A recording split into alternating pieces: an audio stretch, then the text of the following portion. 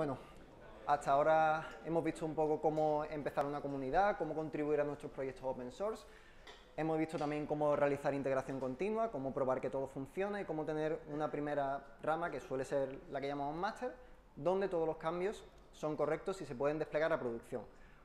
En esta última charla quiero mostraros cómo eh, desplegar dichos cambios de master automáticamente a, distintos servidores o a distintos servicios de deployment donde podréis publicarlos vuestros proyectos, de manera que cualquier persona pueda acceder a verlos. Primero, mi nombre es Ángel, trabajo aquí en Bitnami como ingeniero de experiencia de usuario y me dedico sobre todo al desarrollo de las interfaces de los distintos productos que tenemos aquí en Bitnami. También me gusta muchísimo colaborar en proyectos open source y tener mis propios proyectos. Estos son algunos de los últimos que he ido creando y de los que más repercusión un poco, por así decirlo, han tenido. Este, de hecho, lo, SVGI es un inspector de ficheros SVG que liberé hace una semana y media y en, en una semana tiene casi 500 estrellas en GitHub.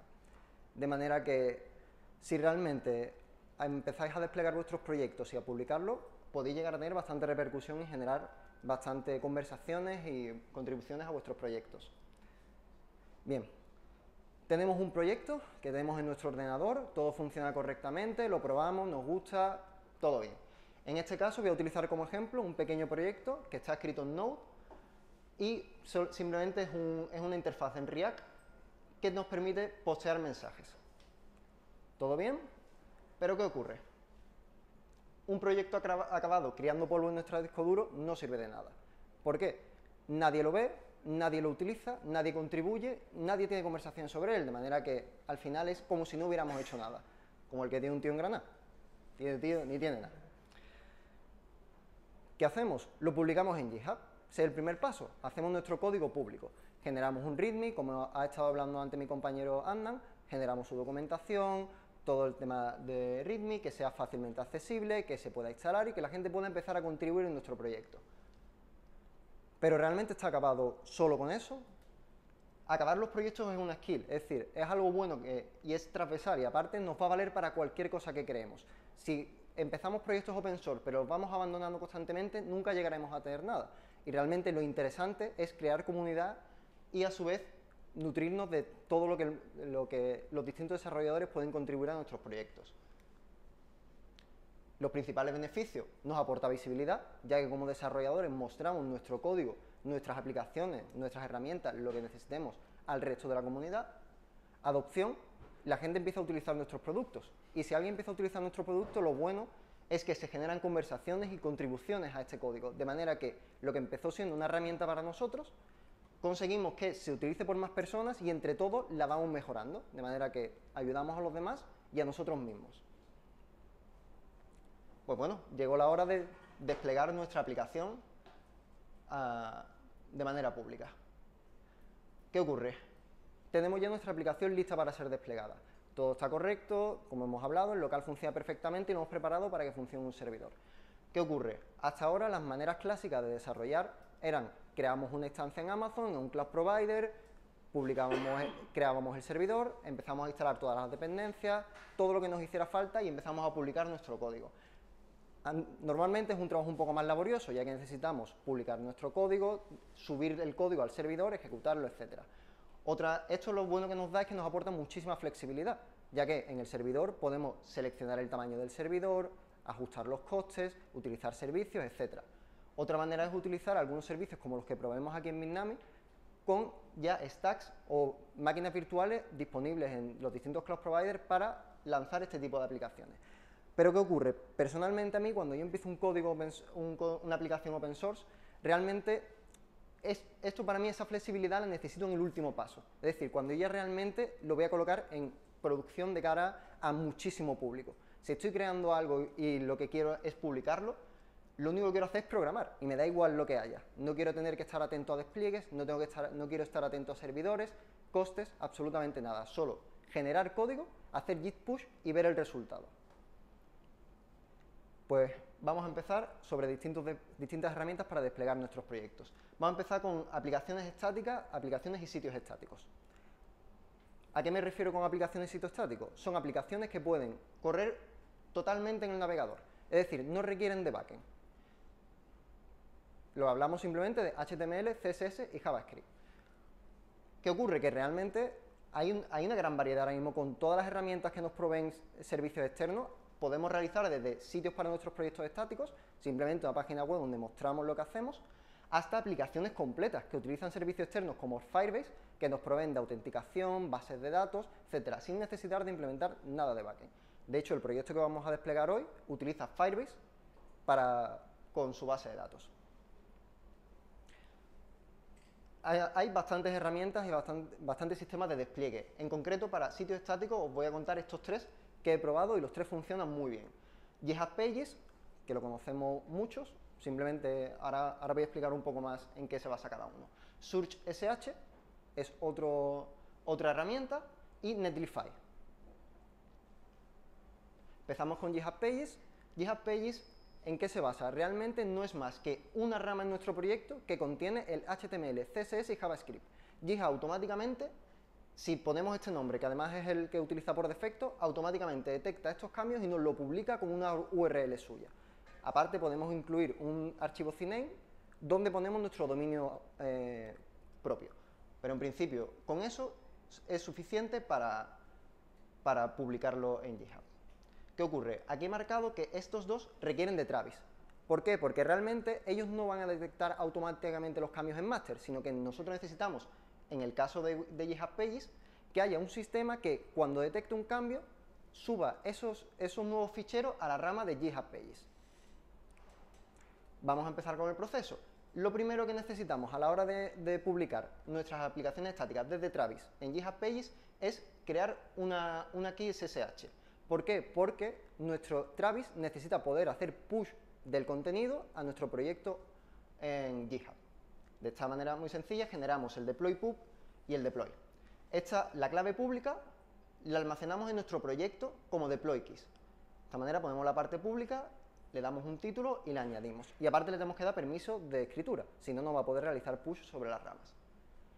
El siguiente paso es publicar esta key en nuestro repositorio. Es necesario para que Travis pueda incluirla en su agente de SSH y pueda realizar las peticiones, los git push a nuestro repositorio. Para ello, como ha hablado antes eh, David, se pueden Travis te provee de una CLI que se instala de esta manera, install Travis, hacemos login y te provee distintas tools. Una de ellas es la habilidad para encriptar ficheros. Encriptando un fichero podremos encriptar nuestra, nuestra clave privada, subirla al repositorio y utilizarla dentro de Travis. Aparte también podemos gestionar eh, em, variables de entorno en Travis. Mi aplicación, en este caso, la que, vamos, a desplegar, necesita de distintos tokens. Este token ya hablaremos más adelante, pero por ejemplo los de Firebase, que son necesarios, los API keys, los domains, la base de datos, y esto, estos dos se generan automáticamente cuando llamamos a este, este comando. ¿Por qué? Esto nos devuelve una, línea de, código en bash que veremos, veremos más adelante, que nos permite eh, desencriptar nuestra clave privada utilizando estas variables de entorno generadas automáticamente. Lo único que necesitamos ya, una vez que tenemos la clave en el repositorio, es crear nuestro deploy SH, que va a ser un script relativamente sencillo, que va a coger nuestro código, lo va a compilar y tras la compilación va a publicarlo en GitHub Pages. Vamos a echar un vistazo al código.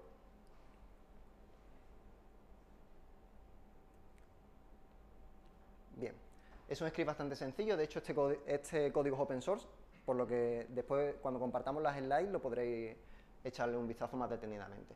Simplemente decimos la, rama base la que queremos, la que queremos eh, desde la que queremos desplegar, la rama, la rama de destino, Luego, esto simplemente es para comprobar de que no, estemos desplegando nada que venga de un pull request, sino que sea exclusivamente de la rama nuestra.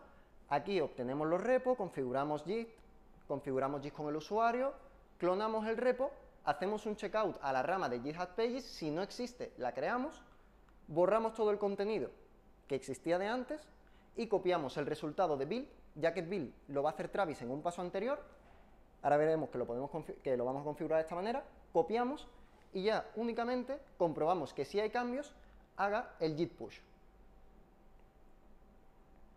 Ah, ah, aquí. Lo que os he comentado antes, la línea de bash que nos, que, nos da Travis cuando ejecutamos encrypt file es esta. Simplemente utilizando la variable de entorno que le proporciona, obtiene el deploy key. Ya le damos los permisos necesarios, lo agregamos a la gente y ya podemos empezar a hacer push.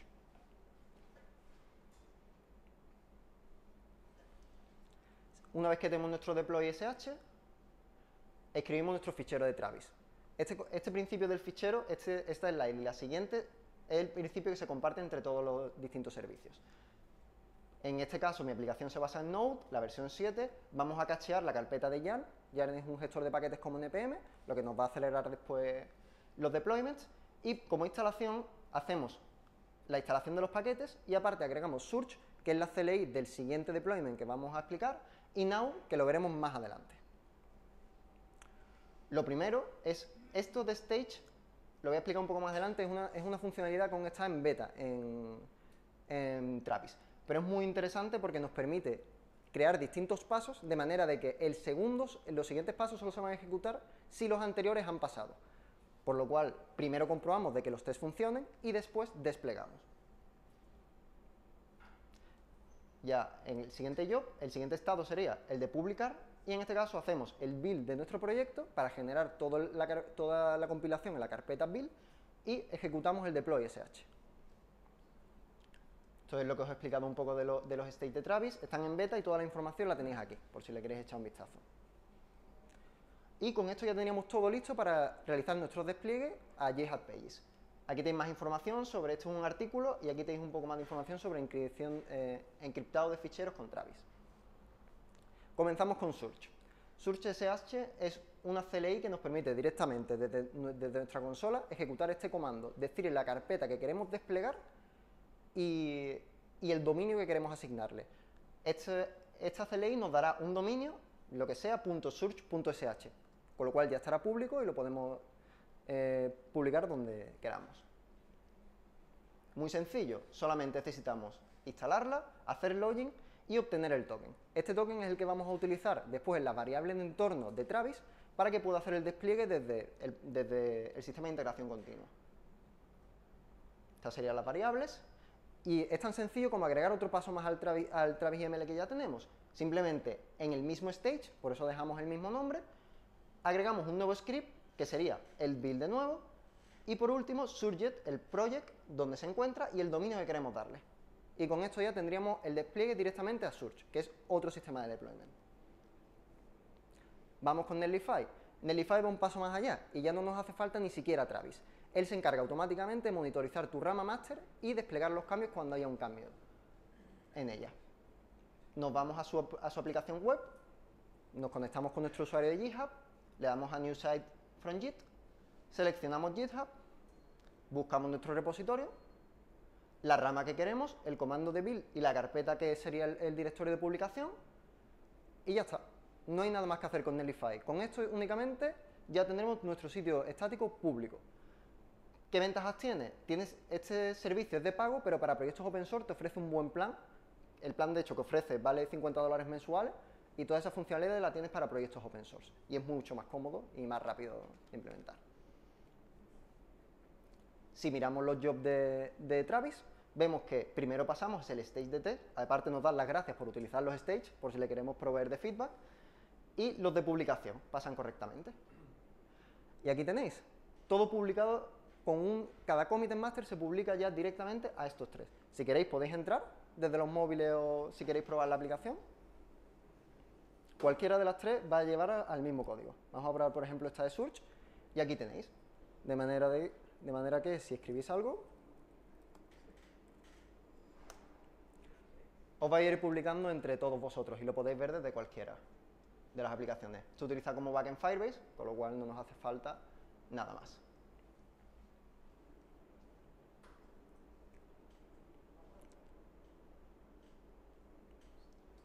Esto para el caso de sitios estáticos. ¿Qué ocurre cuando nuestras aplicaciones sí requieren un backend? Es decir, no necesitamos algo, algo que nos permita alguna API o cualquier cosa que necesitemos. Como, hemos dicho, este tipo de aplicaciones. Para este, para este ejemplo voy a utilizar el mismo proyecto, solo que en vez de dar directamente los ficheros HTML, voy a utilizar un servidor de Node, que escrito con Express, que todas las peticiones las redirija al index HTML de la carpeta build. ¿Qué servicios vamos a utilizar en este caso? Uno conocido que además ha hablado David, Heroku, y Now, que es otro especial, que empezó siendo solo para Node, pero se ha extendido y ya se pueden desplegar todo tipo de proyectos. Heroku. Heroku es otra plataforma de despliegues. ¿Qué ventajas nos ofrece Heroku? Nos permite escalar los distintos servidores, es decir, podemos elegir el tamaño de servidor que queramos. También nos ofrece integraciones con bases de datos con un solo clic, nos provee de una base de datos, ya sea Postgres, eh, Mongo, si necesitamos caché, podemos agregar Redis, todo ello incluido dentro de la misma. Y aparte es suficientemente inteligente como para que cualquier push de código de Node, de Ruby, de Python con sus distintos frameworks se ejecute automáticamente. ¿Qué ocurre? tiene una versión gratuita, que es la que vamos a utilizar ahora, que te ofrece este despliegue, pero cada 15 minutos el servidor se duerme, de manera que cuando queremos otra vez cuando entramos otra vez en la aplicación tenemos que esperar que se inicie. Si queremos que, se mantenga siempre vivo, tendremos que pagar la cuota mensual del servidor mínimo. Heroku también tiene integración directa con GitHub, con lo cual no nos hace falta Travis de por medio. Solo entramos en nuestra consola, creamos una nueva aplicación con el nombre que le queramos dar y en el servidor que queramos, lo conectamos con GitHub, buscamos el repositorio y le decimos que haga deploys automáticos que espere al, CI, es decir, hasta que no pase la build de Travis o del sistema de integración continua que seleccionemos, no despliegue y lo habilitamos. Y listo.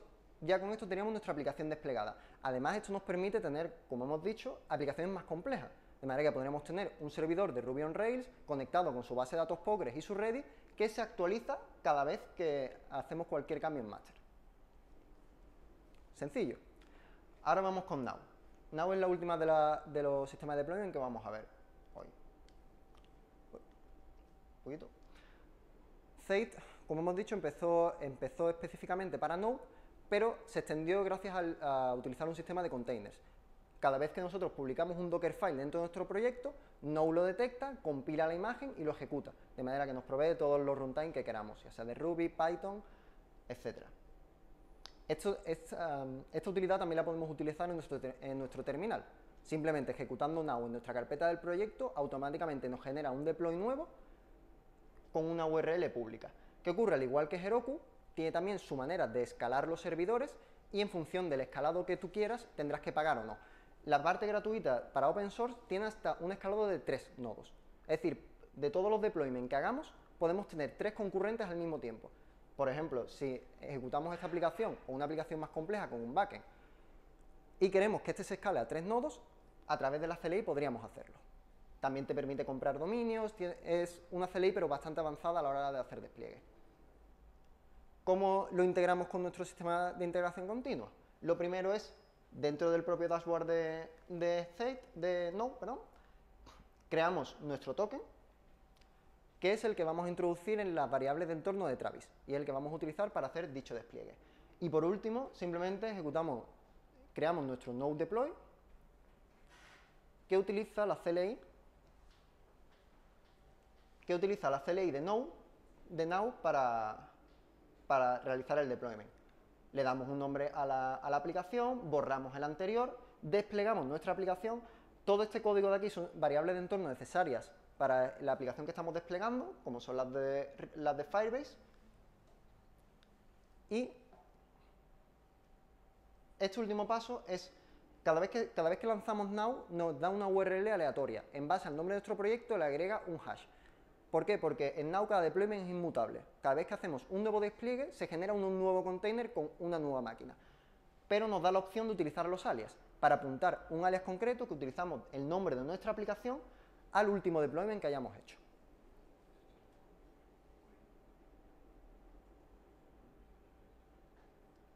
Al igual que hemos hecho, que hemos hecho con Search y con GitHub Pages, ponemos nuestro último stage dentro del, dentro del mismo, nuestro último job dentro del state de publish, que nos da now deploy, simplemente ejecutamos ese, ese script.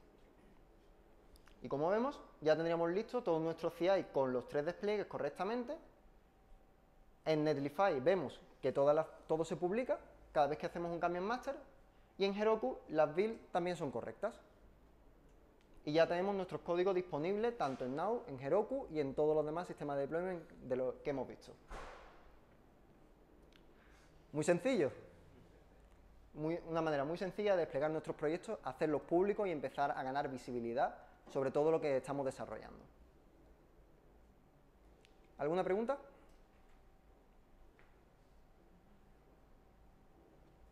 ¿Pregunta, duda? El repositorio es público, con lo cual, si queréis abrir issues, pull request.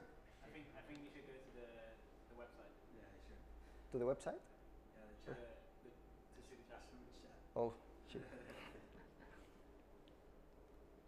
Vamos a probar. Intentamos inyecciones de código, sacar contraseñas. bien, bien.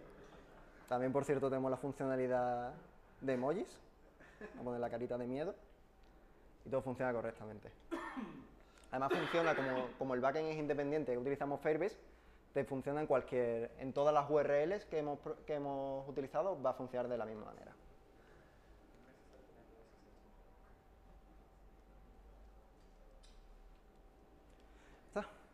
Muchas gracias.